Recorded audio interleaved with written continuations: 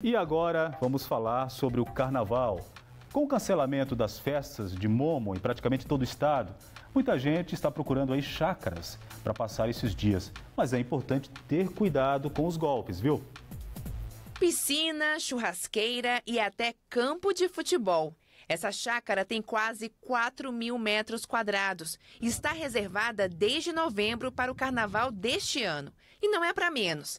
A busca por áreas de lazer aumentou bastante com a flexibilização da quarentena.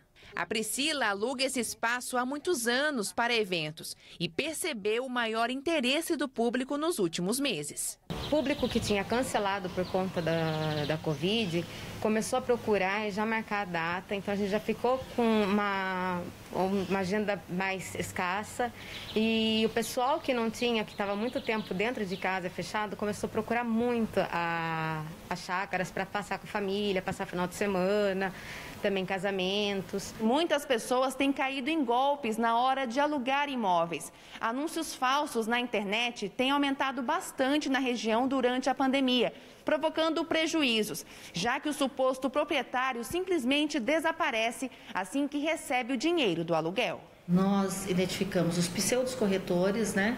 pessoas que se diz credenciadas para trabalhar com imóvel não são, é, também pessoas que anunciam o imóvel dizendo que é direto com o proprietário e quando você dá um sinal como princípio de negociação, aquilo não existe, depois a pessoa some. Passar feriados em chácara começou a virar tradição para a família da Isabela. Já é o segundo ano que ela faz esse tipo de aluguel. É que todos preferem algo mais calmo e privativo. E claro, tomam todos os cuidados durante a negociação para que um momento de lazer em família não se transforme depois em uma dor de cabeça. Antes de fechar, a gente foi conhecer o local, conheceu a pessoa, né? e tomou todo esse cuidado também na forma de pagamento para não, não, correr risco de, de ter algum imprevisto. Na internet, as opções são as mais variadas: casas com vários cômodos, espaçosas e bem localizadas. Mas, ao mesmo tempo, as plataformas digitais também são um ambiente perfeito para os golpistas.